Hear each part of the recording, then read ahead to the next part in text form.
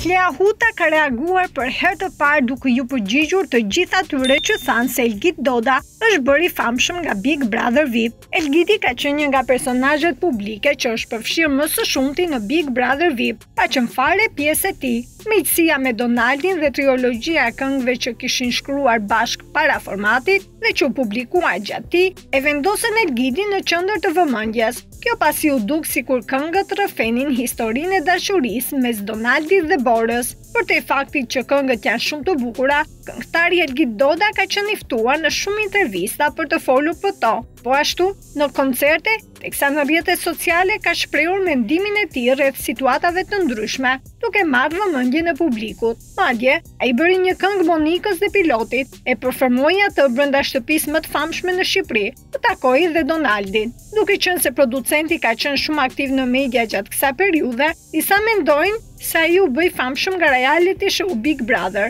e madje, Dikush ia ka shkruar këtë edhe partneres së tij, Klea Huta, në një intervistë virtuale që ajo ka zhvilluar së fundi në rrjetin e saj në Instagram. Përgjigjja e moderatores dhe partneres së Elgit Dodës ka qenë, kur Giti bënte këngë dhe flinte në studio nga pasioni i madh me vite me radhë për t'u bërë ky që është sot, Disa prej jush akoma nuk kishin lindur, dhe jo më të ulen para televizionit me telekomandë në dorë apo ekranit të celularit, duke thënë shpërfillur, Hë mo mori dhe ky famë nga Big Brother, askush nuk është rastësisht aty ku është, askush nuk i di netët pa gjumë, bërrylat e shumtë, refuzimet e shumta, vuajtjet dhe përjetimet e secilit, të gjithë shohin fotografi të mëdha, ky artist, edhe po mos ishte partneri im, është artist me A të madhe, për krijimtarinë, për përkushtimin dhe seriozitetin e ndjeshmërinë e artistit që ka. Ka punuar për të qenë aty ku është sot, nuk ka ndenjur pas celularit dhe duke gjykuar të tjerët. Rikujtojmë se para pak kohësh e pyetur në një Ask se përse nuk ndiqet më me